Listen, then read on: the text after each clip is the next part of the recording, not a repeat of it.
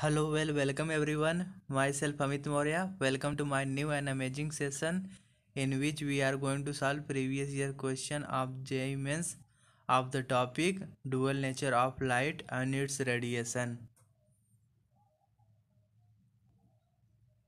So our first question is MCQ single correct answer. Statement first.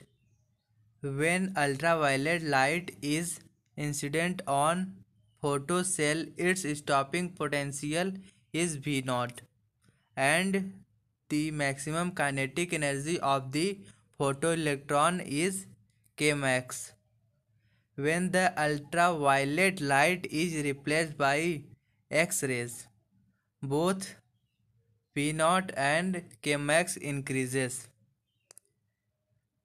इस statement में यह कहा गया है कि when ultraviolet light is incident on photocell जब अल्ट्रावायलेट लाइट गिरती है, पड़ती है इंसिडेंट करती है, कहाँ पे? फोटोसेल पे।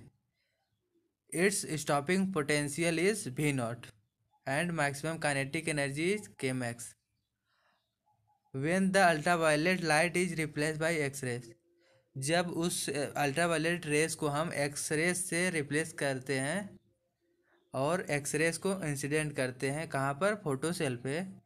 तो पूछ रहा है कि both V naught and K max increase क्या वी मैक्स क्या वी नॉट और के मैक्स इंक्रीज करेगा? Yes because the frequency of X rays is more than the frequency of ultra ultraviolet rays okay जो हमारी x race की frequency होगी, वह ज़्यादा होगी अल्ट्रावायलेट रेस से अल्ट्रावायलेट रेस से, ठीक है? जिसके कारण जो हमारी स्टॉपिक पोटेंशियल है और काइनेटिक एनर्जी है, दोनों की वैल्यू क्या हो जाएगी? इंक्रीज हो जाएगी ओके चलिए हम अपने स्टेटमेंट सेकंड को भी देख लेते हैं। Photo electrons are emitted with speeds ranging from 0 to maximum value because of the range of frequencies present in the incident light इस स्टेटमेंट में यह बोला जा रहा है कि जो हमारा फ़ोटो इलेक्ट्रॉन होता है photo electron are emitted with speed ranging from zero to maximum because of the frequencies present in the incident light frequency के कारण जो होता है मैक्सिमम जो हमारा स्पीड होता है फ़ोटो इलेक्ट्रॉन इमिटेड का, वह लाई करता है ज़ीरो और मैक्सिमम के बीच में। ज़ीरो टू मैक्सिमम फ्रिक्वेंसी के कारण। So statement second is wrong जो हमारा सेकेंड स्टेटमेंट है वह रॉन्ग है। और यह कैसे है? चलिए देखते हैं हम। But kinetic energy range from zero to maximum because of the loss of energy due to subsequent collisions before getting ejected and not due to range of frequencies in the incident light जो हमारी kinetic energy होती है, वो वह directly proportional होती है किसके? Velocity के। So we can say that kinetic energy range from zero to maximum इस कारण होता है because of loss of energy due to subsequent collision before getting ejected and not due to the range of frequencies in the incident light okay so our second statement is wrong चलिए इसके explanation को एक बार और देख लेते हैं। We know that E V equal to K max equal to H nu minus five five is the our work function equal to होता है half half M B square five is the work function here here we increases note that frequency of X-rays is greater than the ultraviolet rays. Both V naught and K max increases. So statement first is correct. ठीक है और हमारा statement second wrong हो जाएगा photo electron are ejected with speed ranging from zero to maximum value because of ranges of frequency present in it नहीं ये different ranging of frequency के कारण हमारा जो है स्पीड ऑफ़ फ़ोटो इलेक्ट्रॉन होता है ज़ीरो टू मैक्सिमम लाइन नहीं करता है। क्यों होता है? बिकॉज़ जो हमारी काइनेटिक एनर्जी की वैल्यू होती है ज़ीरो टू मैक्सिमम किसके कारण होती है? Because of the subsequent collision of the photon particle before the ejection ठीक है? Okay so our right option will be option number D statement first is true statement second is false so we proceed to our next question if a source of power four kilowatt produces 10 to power 20 photons per second. The radiation belong to a part of the spectrum called option number A X rays option number B ultra violet rays option number C microwaves option number D X rays इस question में हमें ये given है कि एक source of power four kilo produces ten to power twenty photon per second. The radiation belong to part of spectrum किस part of spectrum से radiation belong करेगा? ठीक है? वही पूछा गया क्वेश्चन में। We know that energy equal to होता है एच न्यू और हम कह सकते हैं power equal to energy upon time ठीक है? और एन फोटोन की एनर्जी को हम क्या लिखेंगे? N into E upon T और ई की वैल्यू क्या होती है? एच न्यू तो हम लिख सकते हैं इसको यह E N H nu upon T यहाँ पर हम, हमें किसकी वैल्यू निकालनी है? फ्रिक्वेंसी की वैल्यू निकालनी है। तो हम लिख सकते हैं frequency equal to power into time divided by N number of photon into H Planck constant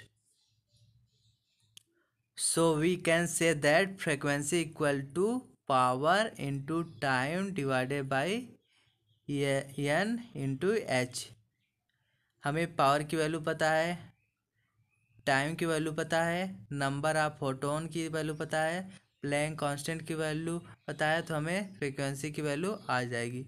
जब हमें फ्रिक्वेंसी की वैल्यू हमारे पास आ जाएगी तो हम डिटरमाइन कर सकते हैं किस रीजन में लाई करेगा, ठीक है?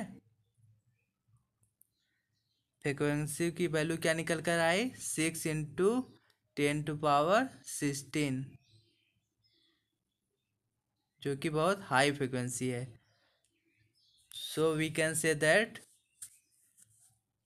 so we can say that the radiation belong to a part of spectrum called X rays जो हमारी रेडिएशन होगी, किस स्पेक्ट्रम से बिलोंग करेगी? एक्सरेज ओके चलिए हम अपने नेक्स्ट क्वेश्चन की तरफ़ प्रोसीड करते हैं. This question has statement first and statement second of the four choices given after the statements choose the one of the best describes the two statements statement first a metallic surface is irradiated by a monochromatic light of frequency greater than nu naught frequency threshold frequency से frequency की value क्या है? ज़्यादा है।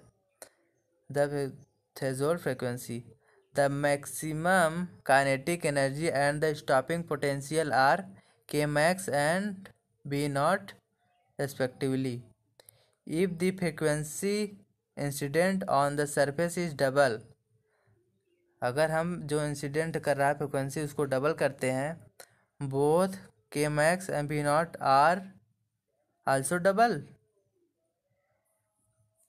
हमें इस question में ये गिवन है कि मैक्सिमम काइनेटिक एनर्जी और स्टॉपिंग पोटेंशियल की वैल्यू के मैक्स और बी नॉट दिया गया है, ठीक है? इसमें और गिवन है ये कि जब हम फ्रिक्वेंसी को डबल करते हैं तो क्या जो फाइनल काइनेटिक एनर्जी और स्टॉपिंग पोटेंशियल की वैल्यू आएगी, वह भी डबल हो जाएगी? We know that kinetic energy max equal to H nu minus H nu naught okay this is our first equation for second final K max dash equal to जब हम frequency क्या करते हैं? डबल करते हैं। Two nu minus H nu naught ठीक है ये, हमारा सेकेंड इक्वेशन हो गया। जब हम इक्वेशन फ़र्स्ट को, इक्वेशन सेकेंड को फ़र्स्ट से डिवाइड कर देते हैं, डिवाइड बाई फ़र्स्ट इक्वेशन तो हमारा क्या निकल कर आएगा? वह देखते हैं। आप लोग इसे नोट कर लीजिए। हम इसे ऐसे लिख सकते हैं। K dash max is divided by divided by K max is equal to H two nu minus H nu naught divided by H T minus H nu naught तो हम ऊपर वाली एक्सप्रेशन को ऐसे लिख सकते हैं H nu minus H nu naught plus H nu divided by H nu minus H nu naught ठीक है? इस और इस इस ये दोनों को हम कट कर देंगे। तो कितना आ जाएगा? One plus H nu divided by H nu minus H nu naught आ जाएगा। ठीक है, हम आगे फिर और देखते हैं। आगे क्या वैल्यू निकल कर आई? One plus H nu divided by H nu minus H nu naught.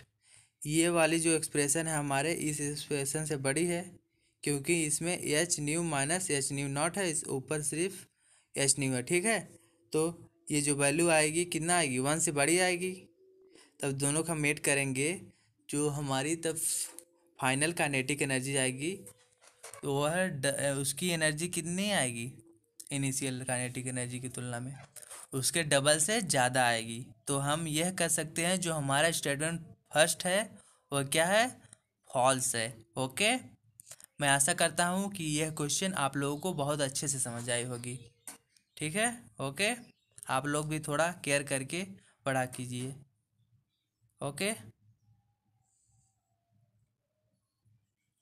हमारा क्वेश्चन बहुत टफ नहीं होता है, बस उसको हम क्वेश्चन को कितने अच्छे से पढ़ते हैं, समझते हैं, फिर उसके बाद उस पर वर्क करते हैं। ठीक है? स्टेप वाइज ये मैटर करता है, ठीक है? आप लोग क्वेश्चन को पहले अच्छे से पढ़ा कीजिए, ठीक है? Statement second. The maximum kinetic energy and stopping potential of photo electron emitted from the surface are linearly dependent on the frequency of incident light. Statement second हमारा ट्रू है। क्यों? क्योंकि know that kinetic energy equal to E V equal to H nu minus H nu naught ठीक है? जो हमारी kinetic energy है और H nu minus H nu naught है फ्रिक्वेंसी पे क्या कर रहा है? लीनियरली डिपेंडेंट है। क्योंकि हमें मालूम है Y equal to M X plus C यह एक स्ट्रेट लाइन को डिनोट कर रहा है ये equation where slope of slope of equation is H Planck constant और ये फ्रिक्वेंसी पे क्या है? लीनियरली डिपेंडेंट है। Okay so our second statement is true and our first statement is false so we can say that option number C is our correct answer okay? चलिए हम इसके explanation को एक, एक बार और देख लेते हैं। By Einstein photo electric equation we know that K max equal to E V equal to H nu minus H nu naught when frequency is double the kinetic energy and stopping potential V naught become more than double yes this is correct okay चलिए हम अपने next question की तरफ़ आगे बढ़ते हैं। This equation has statement first and statement second out of the four choice given after the statement choose one of the one of the describe the two statements statement first Davisson and Germer experiment establish wave nature of electrons. Davisson and Germer perform an experiment to study the wave nature of electron as suggested by de Broglie yes this is the right answer क्या Davisson और Germer perform किए थे? एक experiment को to study the wave nature of electron suggested by de Broglie okay so our first statement is true चलिए हम अपने second statement को स्टेटमेंट को भी देख लेते हैं। If electron have wave nature they can interfere interfere and so diffraction statement second हमारा यह है।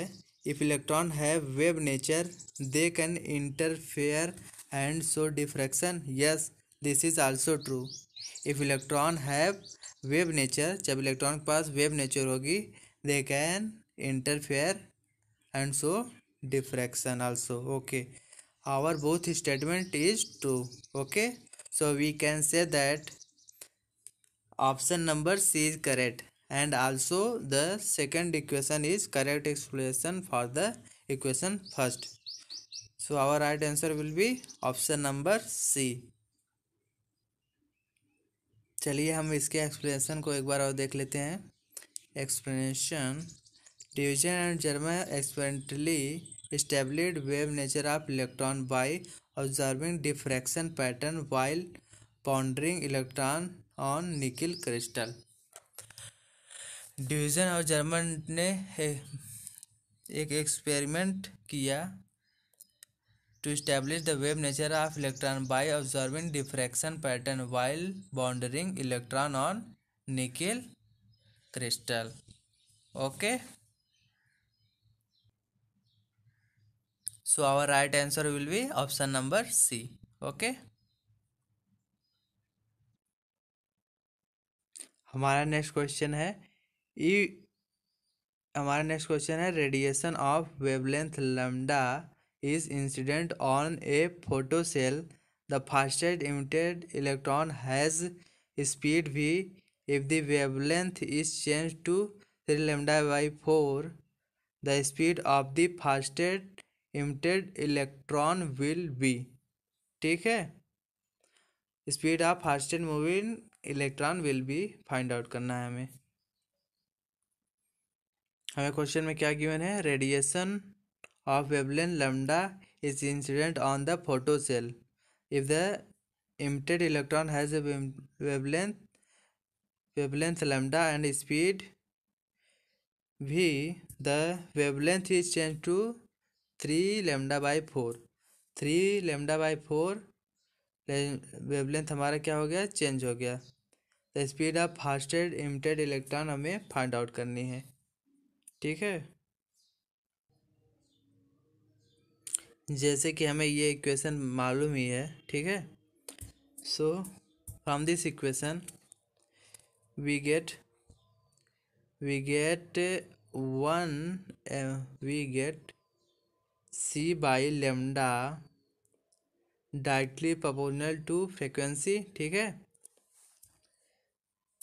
फ्रीक्वेंसी भी फ्रिक्वेंसी वी के सी अपॉन लेमडा क्या है? डायरेक्टली प्रोपोर्शनल है।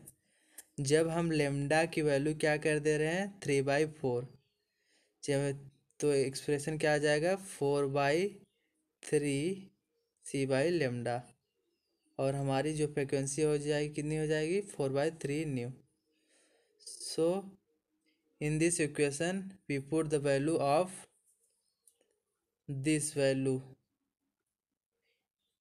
ठीक है? इस वैल्यू को हम पुट करेंगे इस इक्वेशन में। ठीक है? कहाँ पर? फ्रिक्वेंसी की जगह। फ्रिक्वेंसी मान लीजिए वी डैश ठीक है? ये वैल्यू पुट करेंगे। फिर इस वैल्यू की जगह हम जो हमारी आएगी, उस वैल्यू को four by three nu naught V naught को पुट अप कर देंगे।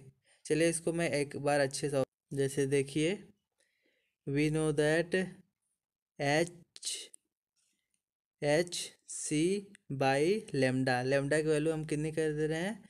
Three lambda by four minus H nu naught equal to K max kinetic energy इस वैल्यू को ऊपर ले जाएँगे, कितना हो जाएगा? Four H C by three lambda और इस वैल्यू की जगह हम four C by three lambda की जगह किस, क्या वैल्यू रख दे रहे हैं? अभी क्या फाइंड आउट किए थे? Four C by three lambda three lambda directly proportional to four by three nu naught frequency ठीक है? तो हम इसको लिख सकते हैं। जो हमारा एक्सप्रेशन आएगा क्या हो जाएगा? ये वाली एक्सप्रेशन हमारी आ जाएगी। और ये एक्सप्रेशन इससे इनिशियली मुझे हमें मालूम ही था। ठीक है?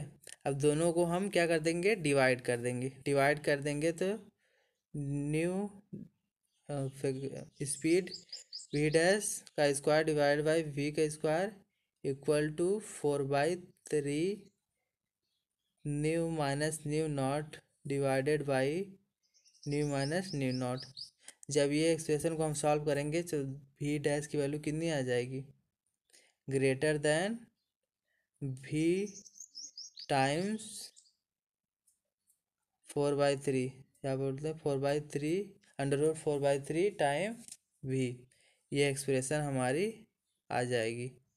जो हमारी फाइनल स्पीड आएगी, उस इनिशियल स्पीड के कितना टाइम होगी? Root three root four by three times होगी, ठीक है? Okay so our right answer will be option number C is the our right answer चलिए हम अपने नेक्स्ट क्वेश्चन की तरफ़ आगे बढ़ते हैं।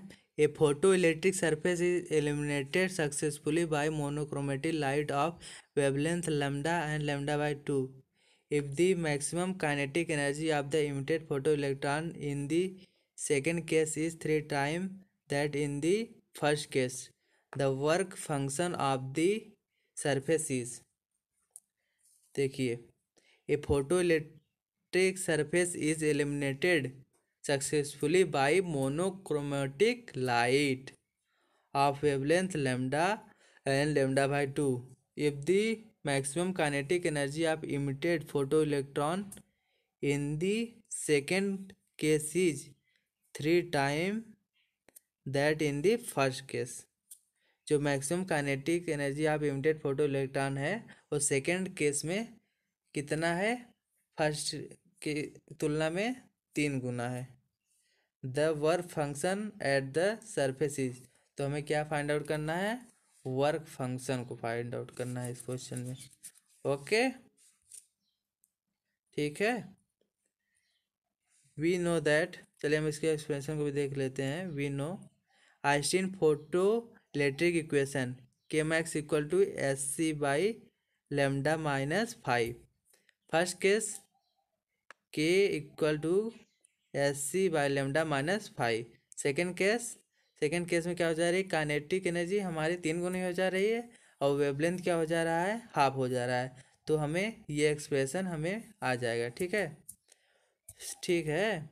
और इस कानेटिक एनर्जी की जो वैल्यू है, यहाँ पे हम पुट अप कर देंगे दिस इक्वेशन में।